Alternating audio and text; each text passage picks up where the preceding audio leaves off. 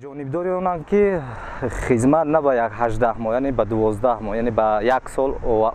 оварда расонида мешуд. Ва ҳамчунин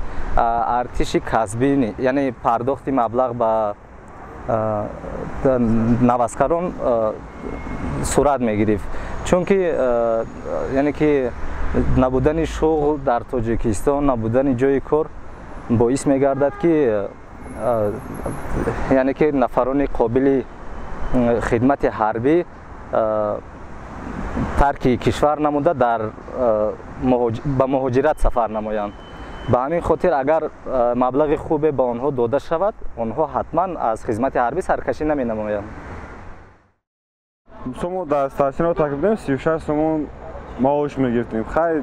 ба нисбати чизе ки истифода мебудем хай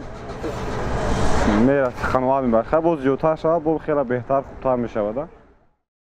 хизматчиён ба пеш падару модар тез-тез хабар бигиранд ба падару модарашро бинанд ва кадом шахсе ки ба хизмат рафтааст он фикраш дигар мешавад ва хунаш дигар мешавад.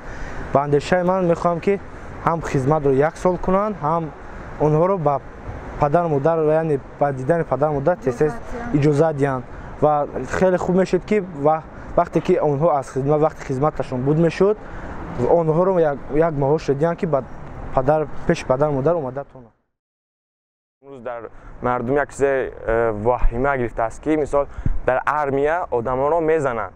инҳо мехоҳам дар оинаи нигӯ нишон диҳам ба мардум ки ҳама бинанд ин одамкороне ки ғам медиҳанам ин одамҳоро ва имрӯз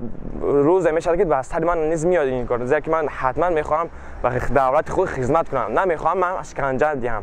ва ин агар вақте ки нишон диҳанд дар телевизор ми одамҳоро همه مثال جلب کننده می‌شوند. با سهم خود در ترکستان بسیار می‌شوند